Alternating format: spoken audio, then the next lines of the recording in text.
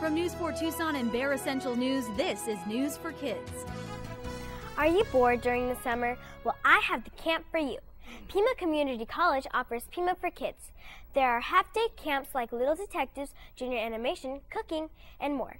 I signed up for Sewing 1, Sewing 2, and Fashion Design. My teacher was Rachel Ann Johnson. The first week, she taught the class to thread a bobbin and a sewing machine. She taught us how to sew different stitches, and we made pin cushions and tote bags.